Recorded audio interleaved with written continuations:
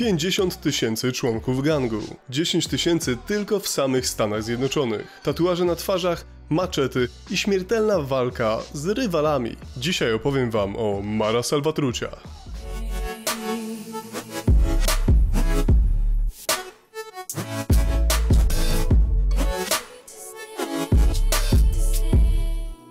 Ostatni film o rosyjskiej mafii przypadł wam bardzo do gustu. W ich subkulturze tatuaże pełniły rolę języka, jakim posiadacz przekazywał innym często ukryte informacje o własnej osobie. W przypadku Mara Salvatrucha, inaczej zwanej MS-13, Mamy do czynienia z nieco prostszym systemem znaczeń, ale jest to na tyle charakterystyczna grupa, czy może raczej mafia, że bardzo chciałem wam o niej opowiedzieć. Na początek podziękowania dla moich wspaniałych patronów, którzy sprawiają, że znacznie łatwiej tworzy mi się filmy takie jak ten. Wbijajcie też na moje social media i dołączajcie do grupy na Facebooku Dziaratorni, gdzie możecie pytać o wszystko, co związane z tatuażami. No ale żeby nie przedłużać, Wracamy do tematu. Badacze tego tematu wskazują, że Mara Salvatrucha powstała między 1970 a 80 rokiem w Los Angeles, a głównymi członkami gangu byli imigranci z Salwadoru. Nie mogę nie skojarzyć ich historii ze słynnym ojcem chrzestnym, bo podobnie jak bohater książki i filmów, czyli Vito Corleone, przestępcy z MS-13 początkowo łączyli siły w celu wzajemnej ochrony przed lokalnymi gangami. Ci z was, którzy kojarzą filmy dokumentalne o Los Angeles z tamtego okresu, wiedzą pewnie, jak burzliwe były to czasy, pełne przemocy, przestępstw i wojen między gangami, przez które najczęściej cierpieli przypadkowi mieszkańcy. Oczywiście nie ma co popadać w skrajności. Los Angeles nie było też jakimś wielkim regionem niezliczonych zbrodni, ale zdecydowanie budziło wtedy, szczególnie wśród Amerykanów, masę zainteresowania. Po pierwszych latach istnienia MS-13 zaczęło przekształcać się z, nazwijmy to, uzbrojonej sąsiedzkiej organizacji, mającej na celu obronę rodziny, przyjaciół i znajomych, w prawdziwie przestępczy syndykat zbrodni. Mara Salvatrucha na tle innych gangów z Los Angeles, a nawet Ameryki Północnej, jeśli nie całego świata, wyróżnia się przede wszystkim okrucieństwem, które urosło do rozmiarów prawdziwej legendy. Możecie kojarzyć z popkultury nazwy takie jak Bloods i Creeps, czyli dwa rywalizujące ze sobą gangi właśnie z miasta aniołów. Nic dziwnego, bo w końcu stanowiły one barwne tło dla wielu ważnych wydarzeń, na przykład w świecie muzyki. Słynny Tupac którego zabójstwo wstrząsnęło wieloma fanami na całym świecie, był ponoć powiązany z tym pierwszym gangiem. Mówiło się nawet, że Notorious Big, również raper, zapłacił Cripsom za zabicie rywala. Gangi te były także inspiracją dla firmy Rockstar podczas tworzenia GTA San Andreas. Ponoć Groove Street Families, organizacja CJ'a, głównego bohatera, była wzorowana na Cripsach, a wrogi mu ganga Ballasów na Blotsach. Oh shit. Here we go again. Jednak na tle takich strzelanin czy zamachów, obydwa te słynne ugrupowania wypadają no dość potulnie, jeśli zestawi się je z MS-13 i rywalizującym gangiem o nazwie 18th Street. Obydwie organizacje słyną z brutalnych porachunków, rozczłonkowywane ofiary, obcięte głowy, kończyny ucięte maczetą, wyrzucanie takich resztek w widocznych miejscach albo przesyłanie rodzinom ofiar w prezencie. I to dopiero wierzchołek góry lodowej. Poza imponującą siecią kontaktów w przestępczym świecie, jakiej obydwie organizacje dorobiły się przez dekady swojej działalności, liczą sobie one po około 50 tysięcy członków każda. Może nie można ich przez to nazwać największymi, jednak uwaga, jaką przekuły szczególnie w ostatnich latach, między innymi dzięki byłemu prezydentowi Stanów Zjednoczonych, no zdecydowanie zapewnia im miejsce wśród najbardziej rozpoznawalnych mafii świata. Poza samym zachowaniem zarówno MS-13, jak i 18 i sposobem, w jaki prowadzą biznes, uwagę przykuwają przede wszystkim ich tatuaże. Przez kilka ostatnich dekad obydwa gangi stworzyły własne systemy oznaczeń. Co ciekawe, są do siebie bardzo podobne, jak gdyby obie grupy chciały, by przeciwnicy rozumieli ich znaczenie. Mara Salvatrucha upodobała sobie wytatuowanie na wielkich powierzchniach całe litery M i S. Często trafia się w ich otoczeniu liczba 13. Czasem pojawia się natomiast na innych partiach ciała i może być mniejsza. Dla przykładu, nierzadko MS widać na twarzach czy klatkach piersiowych, podczas gdy liczba 13 może znajdować się na przedramieniu. Są jednak i tacy przestępcy, którzy tatuują cały ten akronim razem. Symbolika tych tatuaży chyba jest oczywista dla wszystkich. To po prostu zapis skróconej nazwy grupy, której członkowie mówią na siebie Maras, lub Mareros. Gang 18 również upodobał sobie wyraźne oznakowanie swoich członków. Liczba 18 jest bardzo dosłownym znakiem, mówiącym innym, do której grupy posiadacz takiego tatuażu należy. Tak jak i w przypadku MS-13, Osiemnastki swoje znaki tatuują na dużych powierzchniach skóry, nierzadko na głowie, w tym na twarzy, nawet na klatce piersiowej czy na plecach. Nie będzie chyba wielką tajemnicą, że rywalizujący ze sobą przestępcy nierzadko otwierali ogień do ludzi, którzy nosili na ubraniu bądź na skórze liczby 13 czy 18. Podobnie jednak jak w przypadku wspomnianych wcześniej worów w zakonie, najpierw na możliwość noszenia takich dziar trzeba sobie zasłużyć, a wejście w świat tych przestępców nie jest ani proste, ani przyjemne. Rekrut musi udowodnić swoje oddanie gangowi. Motto Mara Salvatrucha mówi wprost: Żyję dla matki, umieram dla gangu. Jednym z etapów inicjacji w MS-13 jest podobno brutalne pobicie, które musi trwać dokładnie 13 sekund. Rekrut musi stawić czoła licznej grupie pełnoprawnych członków organizacji, choć jest też i ważna zasada.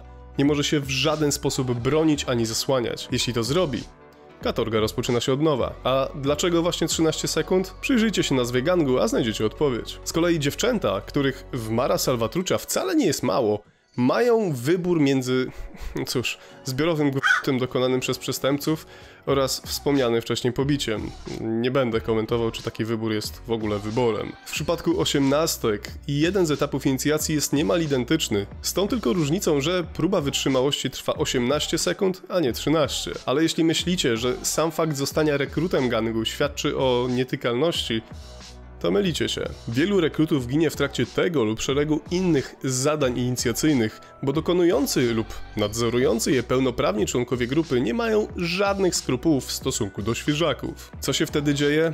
Nie oczekujcie, że tak brutalne grupy będą miały jakikolwiek sentyment, bo postrzegają ich jako słabe uszy, nie zasługujących na ich uwagę. Ciała zmarłych rekrutów nierzadko odnajdywane są po całych miesiącach od, no, nieudanej inicjacji. Poćwiartowane, rozczłonkowane, porozrzucane w wielu miejscach. Jeśli jednak rekrut przeżywa inicjację, zostaje naznaczony. Duża powierzchnia jego twarzy, klatki piersiowej czy rzadziej pleców zostaje ozdobiona tatuażem odpowiednim dla grupy. W trakcie moich poszukiwań informacji o obydwu grupach znalazłem mnóstwo zdjęć tych przestępców, ale nie widziałem oznaczeń gangowych na nogach czy w ogóle poniżej pasa. Jest to wyłącznie moje domniemanie, ale być może powodem tego stanu jest fakt, że te tatuaże powinny być widoczne nawet w ubraniach więziennych, a może i codziennych. W końcu w ciepłych klimatach Los Angeles, a tym bardziej w krajach położonych bardziej na południe jak Salwador, z którego pochodzi większość członków gangu, częściej można zobaczyć kogoś bez koszulki niż bez spodni. Skoro poprzez oznaczenia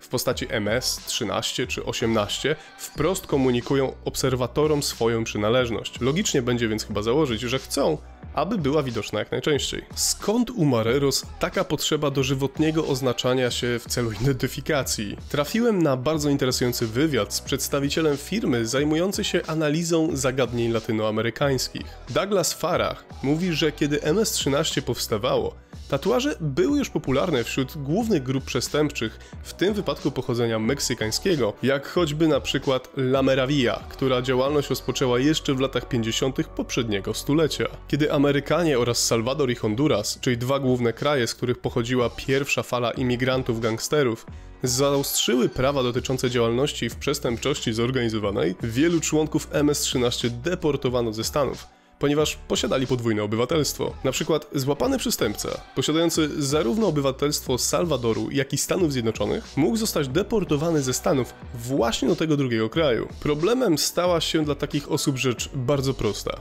Język. Wielu urodzonych już na amerykańskiej ziemi gangsterów zwyczajnie nie mówiło po hiszpańsku, a nagle trafiali do hiszpańskojęzycznego więzienia, gdzie większość osadzonych i strażników nie mówiła po angielsku. Dlatego właśnie tatuowanie się stanowiło poniekąd sposób komunikowania się z innymi w ich otoczeniu. To również mogło ułatwić im odsiadkę, w końcu raczej mało kto w skorumpowanej służbie więziennej małego, środkowoamerykańskiego kraju chciałby się postawić ważnemu członkowi międzynarodowego gangu. Tak więc tatuaże miały być nie tylko demonstracją, świadectwem czegoś na kształt mafijnego chrztu, takim znakiem rozpoznawczym. W końcu, jeśli ktoś był cały wytatuowany właśnie w tych znakach, to mniejsza była szansa na to, że z gangu odejdzie. Patrząc na to już pod prostszym kątem, tatuaże miały być też sposobem na kontakt z innymi mimo bariery językowej. Chociaż członkowie tej grupy bardzo lubią wielkie, rzucające się w oczy napisy, czasem można spotkać nieco subtelniejsze wzory. Weźmy na przykład tatuaże wyglądające na religijne,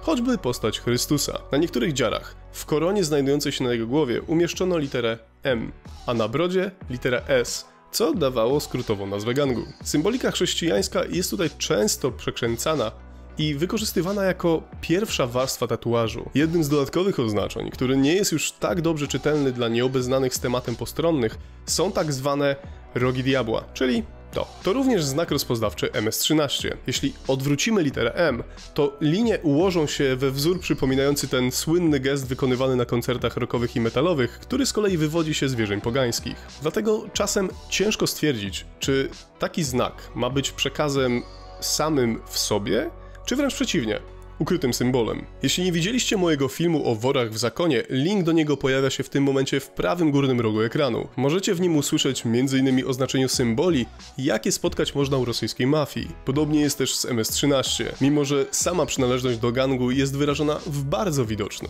prosty do odczytania sposób, to członków grupy obowiązuje zbiór bardzo rygorystycznych reguł. Niektórzy znawcy tematu, w tym badacze FBI, wskazują, że kodeks ten jest bardziej restrykcyjny nawet od tego, jakim kieruje się włoska czy japońska mafia. Te zasady mają również odzwierciedlenie w tatuażach Mareros, którzy tworzą na swoich dłoniach bardzo skomplikowany system malutkich tatuaży, najczęściej kropek i linii, który oznacza historię posiadacza. Na przykład to, jakie przestępstwa popełnił, czy jaką zajmuje pozycję w organizacji. Z kolei trzy kropek na dłoni lub na twarzy oznacza zasadę więzienie, szpital albo grób. Co z innymi tatuażami? Dla tych z Was, którzy są obeznani z zasadami kryminalnego świata, być może nie będzie zaskoczeniem tatuowanie łez. Umieszczane są one w widocznych miejscach, najczęściej przy zewnętrznej krawędzi któregoś oka. A co oznaczają? Każde popełnione przez Maras morderstwo lub takie, których brali udział, to jedna łza. Policja z Hondurasu chwaliła się parę lat temu, że rozszyfrowała system tatuażowego języka MS-13, choć do tej pory trudno powiedzieć, co niektóre symbole dokładnie oznaczają. Na przykład wspomniane łzy ponoć niekoniecznie muszą oznaczać popełnienie morderstwa. Wspomniany wcześniej Farag wskazuje, że różne znaki stosuje się często zamiennie, na przykład kropki umieszczane między palcami czy na czaszce. Według niego zdarza się, że nawet i łzy pod okiem mogą mówić raczej o randze czy zdolnościach, a niekoniecznie o konkretnej liczbie przestępstw. Wśród tatuaży trafiają się też wizerunki matek czy sióstr Mareros. Matki są szczególnie poważane. Przez ten fakt często łączy się z symboliką religijną, choć również zdarzają się podobizny dziewczyn czy kochanek. W 2014 roku gazeta El Heraldo z Hondurasu skontaktowała się z ekspertem od przestępczego języka, tym również znaków. Wyróżnił on wiele odmiennych symboli, jakie członkowie Mara Salvatrucha oraz osiemnastek najchętniej używają. Jednym z najpopularniejszych jest pajęcza sieć, którą można zobaczyć głównie na kolanach, łokciach czy ramionach. Według eksperta ma ona oznaczać potęgę i rozwój. I najprawdopodobniej chodzi o rozwój w znaczeniu rozszerzenia stref wpływów, czyli